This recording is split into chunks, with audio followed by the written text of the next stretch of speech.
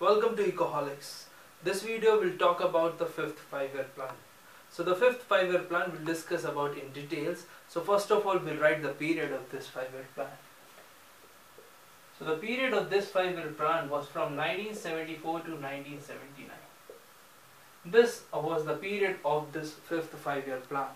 But one important thing to be noted here that this plan discontinued in the year 1978. So the main causes of discontinuation of this plan in the year 1978 was the election lost by the then Prime Minister Indira Gandhi. So the Congress led by Mrs. Indira Gandhi lost the election in the year 1977.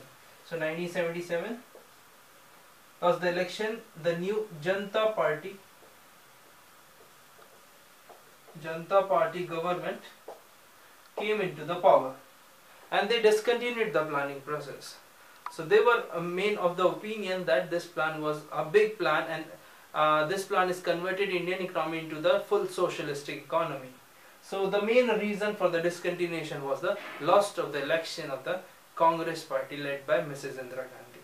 So the two year period that is 1978 and 1979 was termed as a rolling plan. So the rolling plan, the two year period was famously known as the period of rolling plan.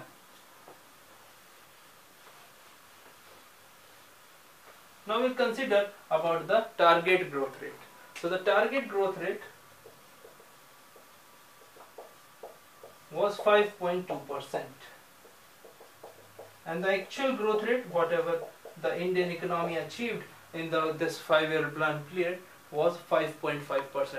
It means the plan was relatively successful in comparison to the previous five-year plans.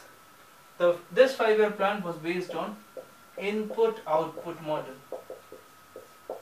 This input-output model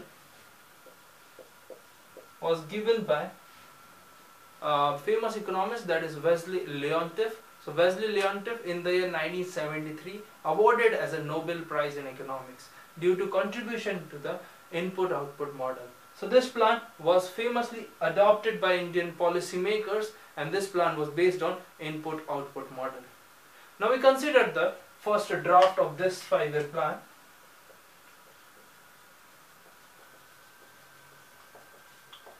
The first draft that is uh, we can say that initial draft was proposed by C. Subramaniam. In that draft he focused on growth with direct attack on poverty because we remember in the last video we had discussed about the slogan given by Mrs. Indira Gandhi in the year 1971 that is Garibi Hatao. That is so uh, deriving that uh, slogan and he focused on growth and with growth of the Indian economy and with the direct attack on poverty. So in order to alleviate the poor, the policymaker focused on the uh, focused upon the removal or the poverty alleviation program. So we'll discuss two major programs in this five-year plan. But before that, we discuss about the final draft.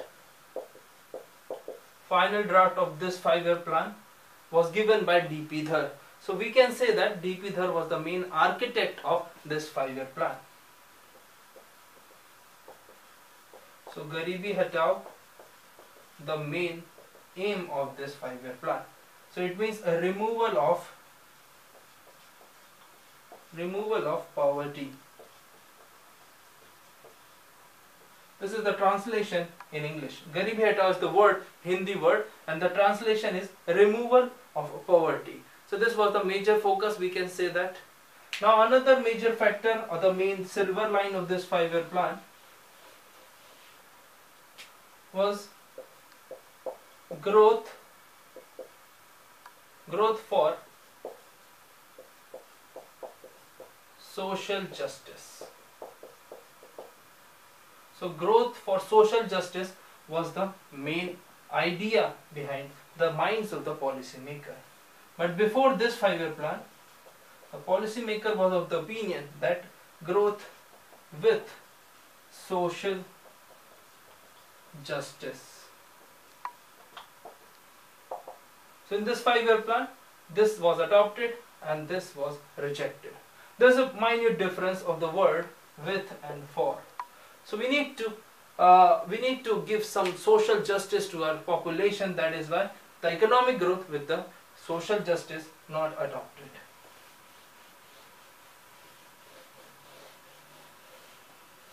Now we consider the two important major programs that was the highlight of this five-year plan. It means we can say that those uh, two programs was the popularly known as flagship scheme and the period of this five-year plan. So we'll write this. First one is 20 point program 20 point program introduced in the year 1975 and the second the most important minimum needs program. Here we can write minimum needs program. So this program the second one focused on the basic amenities in the rural areas. Like for example electricity rural roads clean water drinking water sanitation cleanliness etc was the main focus of this second second major flagship scheme under this five year plan. We can also say that uh, the this plan that is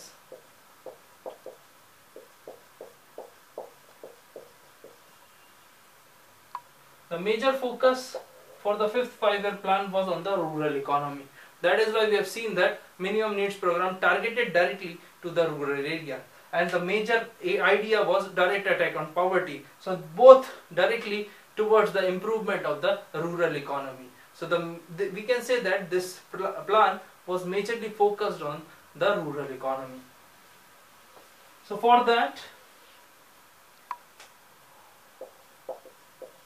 agriculture and small scale industry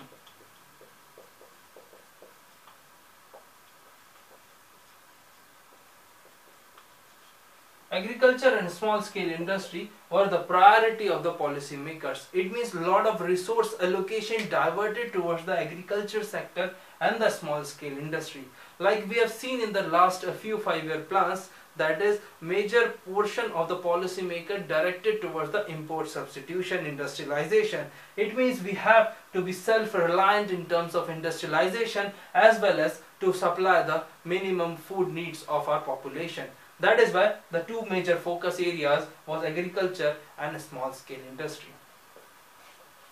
So in this period after 1978 that is after Janata Party came into the power main focus was on small scale industries and later MNCs were thrown out for the last two years. So the plan was relatively we can say the successful because of the one thing that is Hindu rate of growth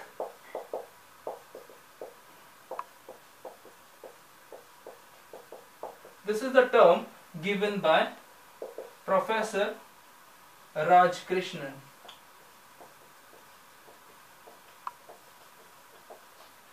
This is the term given by Professor Raj Krishnan. Hindu rate of growth doesn't relate to any religion, but Hindu rate of growth relate to the rate of growth of Hindustan. So in the first three decades, India were not able to uh, were not able to achieve the growth rate above 5%. So it means we can say that India was growing at a sub 5% level. So around the Hindu rate of growth 3.5%. So in this five-year plan, we achieved the actual growth rate of 5.5%. So we can say that this plan is relatively successful when we compare to the previous five-year plans because the Hindu rate of growth mystery was finally solved in this five-year plan. Another major factor is export promotion export promotion and import substitution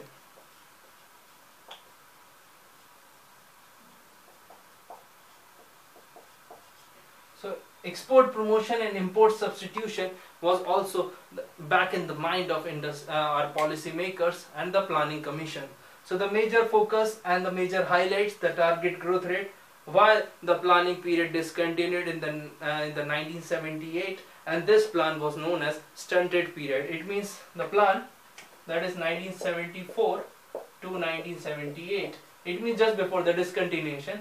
This period is known as stunted period and the remaining two years known as a rolling plan. Oh, that's it for this video. Hope you like this video. If you have any doubt, any recommendation or any feedback, you can mention in the comment box. If you want to suggest any other topic, whichever uh, which we I will make a video for that, you can also mention in the comment box. If you want any further content, you can contact to our Facebook page, Twitter and also LinkedIn account. The email ID is given in the description of this video. Thank you so much once again and please subscribe this channel and share with your friends also. Have a nice day.